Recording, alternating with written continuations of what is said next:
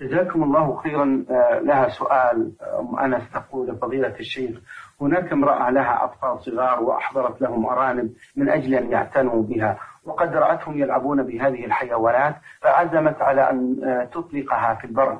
لكن عندما جاءت إلى هذه الحيوانات وجدت هذه الأرانب قد ماتت. هل يلحق هذه الأمة الإثم في موت هذه الحيوانات؟ وماذا عليها أن تفعل الآن؟ لا مانع أنها, أنها تأتي بالحيوانات وتمكن الأطفال من اللعب بها لكن إلى حد غير التعذيب. إذا كان في ذلك تعذيب لها فإنه لا يجوز تعذيبها. فإنما يلعبون بها في حدود دون التعذيب وبشرط أن توفر لها الماء والطعام ولا تتركها تموت جوعا أو تموت آه، عطشا. قول النبي صلى الله عليه وسلم دخلت النار امرأة في هرة حبستها فلا هي أطعمتها ولا هي تركتها تأكل من خشاش الأرض. فإذا وفرت لها الطعام والشراب جاز أن تقتنيها وجاز أن تمكن أولادها من اللعب آه، بها إلى حد لا يصل إلى حد التعذيب. نعم.